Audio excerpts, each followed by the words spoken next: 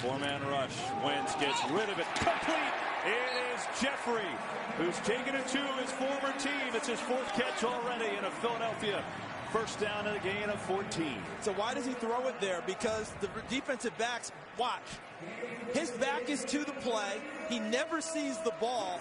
So all Carson Wentz does is throw it right over the helmet of Prince Amukamara, number 20, and put it up there where, where Alshon Jeffery can go get it. But Amukamara can't make a play on the ball because he never knows it's there.